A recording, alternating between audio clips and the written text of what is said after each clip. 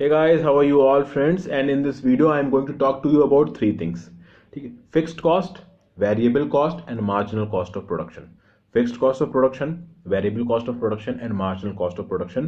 Understanding fixed cost of production and variable cost of production is very very easy friends.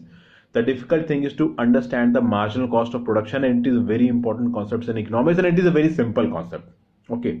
Now first of all friends i will tell you a formula this formula is that marginal cost of production equals to change in total production cost upon change in total quantity. Okay. The second definition I am going to say is that marginal cost of production is used to determine when a company can reach an economy of scale to optimize production and overall operations. The third definition, marginal cost of production will keep going down as production rises until the company has to incur more cost to produce more products leave it aside. This is the technical definition. Now i will tell you what marginal cost of production is. And we are going to understand it from a mathematical point of view. Okay friends? Suppose there is a company okay? You opened a company. You opened a small company. And uh, for running that company you need some sort of infrastructure. Suppose if it is related to a technical field or industrial field you have to buy some machines. Okay friends? Now you are buying some machines that fixed infrastructure okay. So the machine cost and the you know the land charges you made a factory. So this was the fixed cost. That is you purchased a land you built on that land the structure you bought in machines the fixed cap. So this big this forms the fixed cost.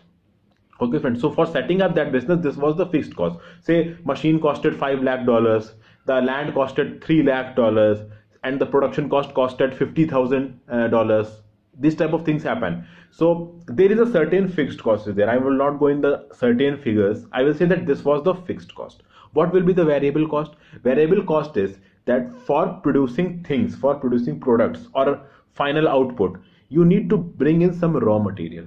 Okay you need to bring in some raw material. That raw material can be form of iron steel nickel or some manufactured capital good. It can be anything another variable cost is that you are going to employ some people. Some people are going to work in that industry. They will work on the machines and then the output will come out. Some technical staff will be there. Some human resources staff will be there. Some research and development staff will be there. Some expert technical staff will be there. So different types of staff will be there and they will be paid some salaries. Okay. So that will be a variable cost. So i told you some examples of fixed cost and i told you some examples of variable cost. Now what is marginal cost friends? Marginal cost is the co that cost of production which is incurred for manufacturing one additional unit of uh, output. I will again repeat it. Marginal cost of production is that cost friends that additional cost which will be incurred if one more unit is manufactured. Now suppose I have told you the whole setup that you um, bought a land, you bought machines, and you made a whole setup, and you employed people, you bought in raw materials, and you are producing things.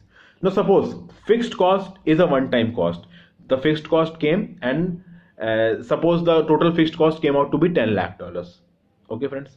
Now, variable cost is variable. Variable cost will depend upon the amount of output that is coming out. Okay, friends. So, suppose per day 500 units are coming out and you are selling those units for a certain amount of time. Now suppose friend the first unit that will be produced from your enterprise what will be the cost of that first unit? The cost of that first unit will be equal to the cost of the total fixed cost plus the cost of the raw material.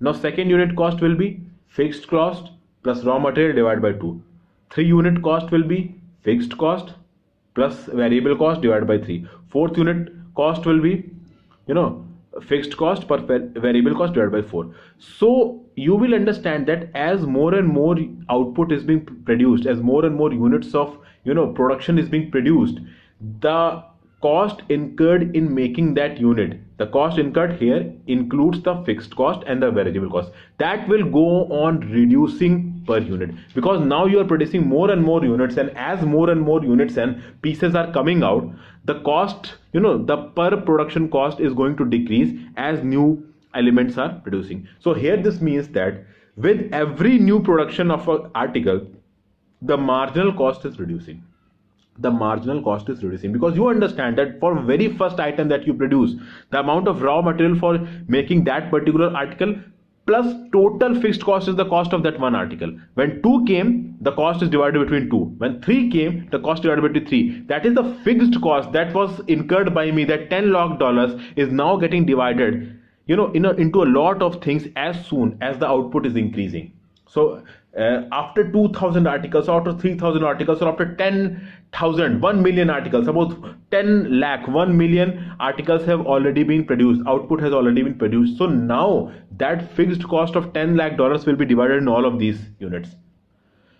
So you need to understand friends that with increasing amount of output up to a certain amount of time the marginal cost of production will go on decreasing. But there will be a point that that will come. After that the marginal cost of production will increase. How this will happen? Initially up to a certain level with every increased production the marginal cost of production will go on decreasing but there will be a certain amount of time after which manufacturing a particular product the marginal cost of production will increase and when will it happen? Suppose friends that uh, what the factory which we made you know the initial setup of the fixed cost was around say 10 lakh dollars.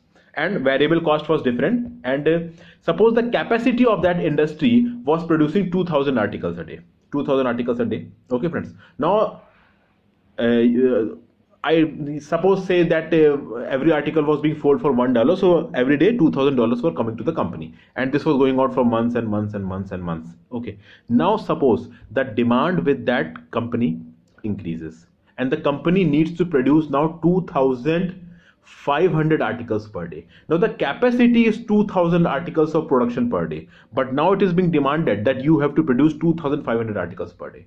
But the capacity of that factory is two uh, is 2000 articles per day only. So in order to compensate for the extra 500 articles that has to be produced in a day, separate you know investment have to be made. How will that investment? That more land will be required, more machines will be required. Why? Because the present amount of land and machines and fixed costs that we have incurred has a capacity of 2000 production per day only. And now the demand is of for 2500 per day. So there is an excess demand of 500 above the 2000 the capacity of my infrastructure at this point of time is 2000 per day. But if i have a demand of 2500 i have to increase my capacity. And for that i will be needing more land. I will be needing more machines. That means i will be needing more capital investment more fixed cost investment. And if i'm going to make more fixed cost investment obviously after a certain point of time that is in a particular day.